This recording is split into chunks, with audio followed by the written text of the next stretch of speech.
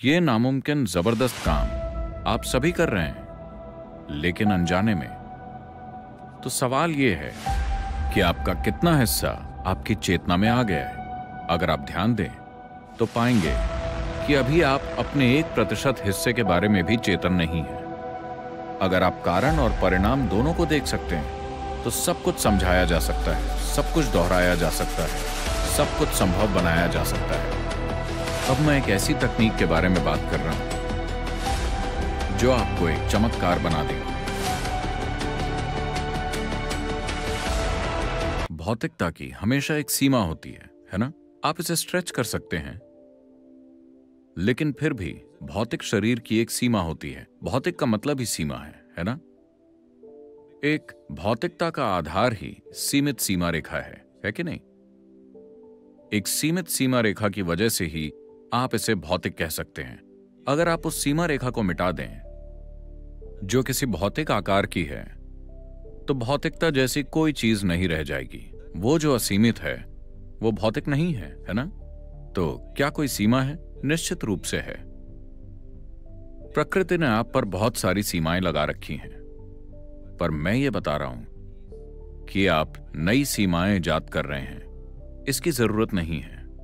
प्रकृति ने पहले ही आपके लिए बहुत सारी सीमाएँ लगा रखी हैं। आपको और सीमाएँ गढ़कर अभी आप जो हैं खुद को उससे और छोटा बनाने की ज़रूरत नहीं है। एक इंसान ईश्वर और स्वर्ग वगैरह के बारे में इतनी बातें आमतौर पर मूल रूप से इसीलिए होती हैं क्योंकि लोगों ने इंसान होने की विशालता का अनुभव ही नहीं किया है। यही असली समस्या है। अगर आप इंसान होने की विशालता का अनुभव कर रहे होते तो आप दूसरी चीज़ों के बारे में ज़्यादा बातें नहीं करते। ये अपने आप में ज़बरदस्त है। ये एक दोपहर में मछली को इंसान बना देता है। क्या ये ज़बरदस्त नहीं है? लेकिन ये इसे अनजाने में कर रहे हैं। अगर वो चेतना के साथ मछली को इंसान में बदल दें तो ये अद्भुत घटना होगी, है ना? है कि नहीं? ये नामुमकिन ज़बरदस्त काम आप सभी कर रहे हैं, लेकिन अनजाने में। तो सवाल यह है कि आपका कितना हिस्सा आपकी चेतना में आ गया है? अगर आप ध्यान दें तो पाएँगे कि अभी आप अपने एक प्रतिशत हिस्से के बारे में भी चेतन नहीं है। अगर कुछ और प्रतिशत चेतना में आ जाए तो अचानक आप जो भी काम करते हैं, वो सुपर ह्यूमन लगता है। अब, मेरे आसपास के लोग हर दिन ऐसी कई चीज़ें देखते हैं जिन पर वो विश्वास नहीं कर सकते। तो लोग कहते रहते हैं सदगुरु क्या आप सुपर ह्यूमन है? क्या आप एक इंसान हैं? मैं उन्हें याद दिलाता हूँ। This is not about being super human this is about realising being human is super ये सुपर ह्यूमन बनने के बारे में नहीं है बल्कि ये समझने के बारे में है कि ह्यूमन होना ही सुपर है। अब मैं आपको एक कहानी सुनाता हूँ। एक आदमी में आध्यात्मिक प्यास जाग उठी। उन दिनों जब आध्यात्मिक प्यास जागती थी तो लोग जंगल में चले जाते थे। तो वो जंगल चला गया और उसने बैठकर ध्यान करने के लिए एक अच्छी सी चट्टान ढूंढ ली। वो बैठ गया और फिर उसने देखा कि कुछ ही दूरी पर एक लोमड़ी थी।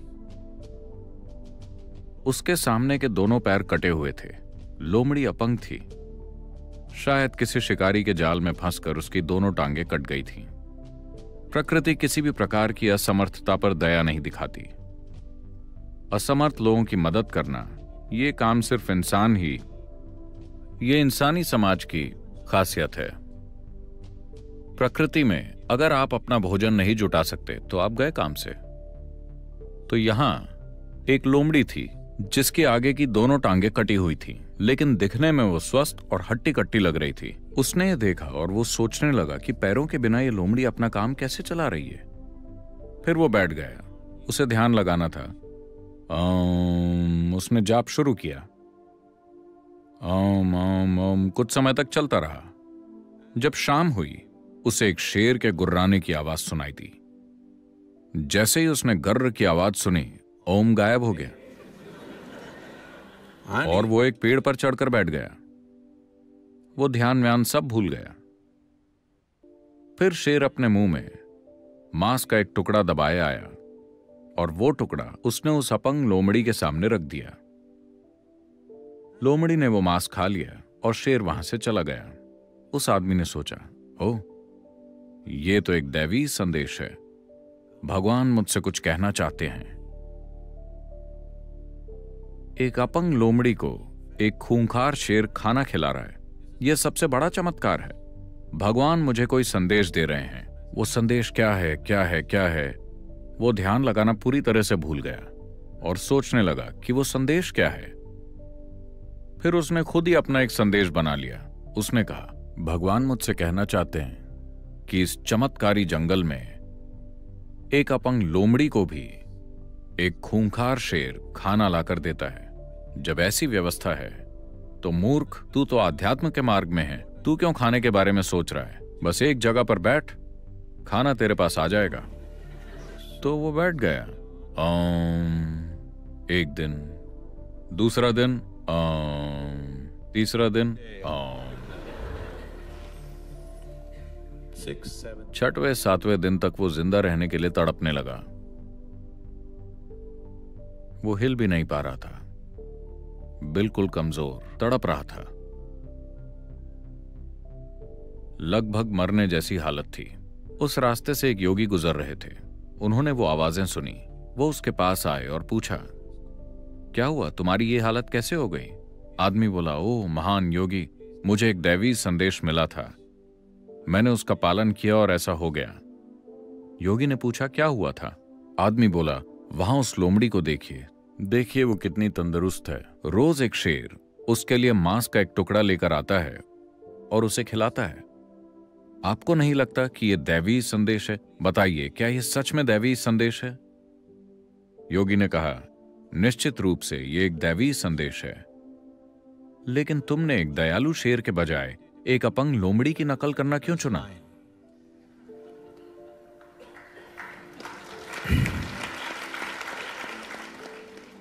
तो यह चुनाव आपको करना है। अगर आप एक अपंग लोमड़ी की नकल कर रहे हैं तो एक दयालु शेर आपको चमत्कारी लगेगा। यह कोई चमत्कार नहीं है। यह किया जा सकता है। हाँ? यह किया जा सकता है। इसमें कोई चमत्कार नहीं है। लेकिन इसे देखने के दो तरीके हैं। एक तो ये कि सब कुछ चमत्कार है। अच्छा बताइए, आप ज़मीन में गंदगी डालते हैं और पेड़ से आम निकल आते हैं, मीठे आम। गंदगी और आमों की मिठास, क्या वो दोनों एक ही चीज़ है? वो एक ही हैं। है कि नहीं? क्या वो दोनों एक नहीं है? जो खाना आप खाते हैं और अगले दिन टॉयलेट में जो आप करते हैं, वो एक ही है है कि नहीं? हाँ या ना? अगर कल आप उस गंदगी को खेत में डालेंगे तो फिर से वो आपका खाना बन जाएगी। है कि नहीं? दोनों एक ही हैं। लेकिन क्या आप दोनों के साथ एक सा बर्ताव कर सकते हैं? नहीं। आपके पास ये समझ होनी चाहिए कि कैसा बर्ताव करें। लेकिन हैं वो दोनों एक ही, है ना? गंदगी से आम बनना। क्या यह चमत्कार नहीं है? मछली को इंसान बनाना। क्या यह चमत्कार नहीं है? आया ना? हर चीज़ एक चमत्कार है। ये ज़िंदगी को देखने का एक तरीका है। ज़िंदगी को देखने का दूसरा तरीका यह है कि कुछ भी चमत्कार नहीं है। सब कुछ कारण और परिणाम के बीच हो रहा है। अगर आपकी दृष्टि इतनी सीमित है कि आप कारण को नहीं देख पा रहे, आपको सिर्फ़ परिणाम ही दिखाई दे रहा है तो फिर ऐसा ही होगा। अगर आप कारण और परिणाम दोनों को देख सकते हैं तो सब कुछ समझाया जा सकता है, सब कुछ दोहराया जा सकता है, सब कुछ संभव बनाया जा सकता है। अब मैं एक ऐसी तकनीक के बारे में बात कर रहा हूँ, जो आपको एक चमत्कार बना देगी। लेकिन वो कोई चमत्कार नहीं है। सारी तकनीकें चमत्कार जैसी लगती हैं, है ना? मान लीजिए कि आप इलेक्ट्रिसिटी के बारे में कुछ भी नहीं जानते और अभी हॉल में बिल्कुल अंधेरा है। और मैं आपसे कहता हूँ देखेगा भी, मैं बस दीवार के इस हिस्से को छूँगा और पूरे हॉल में रोशनी हो जाएगी। और अगर मैं ऐसा कर दूँ तो वाह, आप मेरे सामने सिर झुका देंगे, है ना? कोई भी चीज़ जो आपको समझ नहीं आती, वो आपके लिए एक चमत्कार है है ना? हाँ? कोई भी चीज़ जिसे आप नहीं समझ पाते, वो आपके लिए एक चमत्कार है। अभी मैं अपनी जेब से एक चीज़ निकालूँगा। ये बस प्लास्टिक और मेटल से बनी है, और मैं ऐसा करके भारत, अमेरिका या कहीं भी मौजूद किसी व्यक्ति से बात करूँगा। यह चमत्कार है कि नहीं? समस्या यह है कि आप सभी के पास है। अगर यह केवल मेरे पास होता अगर मेरे पास हज़ार साल पहले सेलफोन होता तो मैं भगवान बन चुका होता। लेकिन यह मेरे पास बहुत देर से आया अगर हज़ार साल पहले मेरे पास एक लाइट बल्ब होता तो मैं भगवान बन सकता था। लेकिन वो मुझे बहुत देर से मिला। तकनीकें कभी सही वक्त पर नहीं आई, है ना? जो भी चीज़ आपको समझ नहीं आती, वो आपके लिए एक चमत्कार है। और साथ ही क्या एक भी ऐसी चीज़ है जिसे आप पूरी तरह से समझते हैं? मैं चाहता हूँ कि आप इस पर गौर करें। क्या आप इस फूल को पूरे तरीके से समझते हैं? समझते हैं? हो सकता है कि दस हज़ार साल तक आपने बॉटनी पढ़ी हो, लेकिन क्या आप इस फूल को पूरी तरह से समझते हैं? क्या आप अस्तित्व के एक परमाणु को भी समझते हैं? बताइए। नहीं तो सब कुछ चमत्कार है। अगर आप पर्याप्त गहराई से देखें तो सब कुछ चमत्कारी है। एक स्तर पर सब कुछ समझाया जा सकता है और दूसरे स्तर पर सब कुछ चमत्कारी है। यही जीवन की खूबसूरती है। अगर आप में ज़रूरी समझ है और जानने की उत्सुकता और जिज्ञासा है तो आप उसे पूरा समझ सकते हैं और फिर भी उसे देखकर आश्चर्य कर सकते हैं। आप अपनी पूरी ज़िंदगी इस फूल का अध्ययन कर सकते हैं। और फिर भी उसे देखकर हैरान हो सकते हैं। यही अस्तित्व की खूबसूरती है है ना? या फिर आप एक मूर्ख भी हो सकते हैं, जो इस फूल के बारे में नतीजे निकाल लें और मान लें कि आपको सब पता है। यही अंतर है। आपके जीवन की हर चीज़ ऐसी ही है है कि नहीं? हाँ? आपके जीवन में सब कुछ ऐसा ही है। तो यह चमत्कारी भी है और साधारण भी। इसे समझाया भी जा सकता है और यह समझ से परे भी है। ये इंसान भी है और भगवान भी। आप दोनों पहलुओं के बीच खेल सकते हैं। ये बहुत सुंदर है। आप जानवर भी बन सकते हैं। हाँ? इंसान बहुत आसानी से जानवरों जैसा बर्ताव कर सकते हैं, है ना? क्योंकि इंसानी स्वभाव को प्रकृति ने फिक्स नहीं किया है। आप पूरी आज़ादी से जानवर की फितरत से इंसान की फितरत और फिर ईश्वरीय फितरत अपना सकते हैं और चाहे तो वापस आ सकते हैं। ये बहुत खूबसूरत है। इसे बर्बाद मत कीजिए।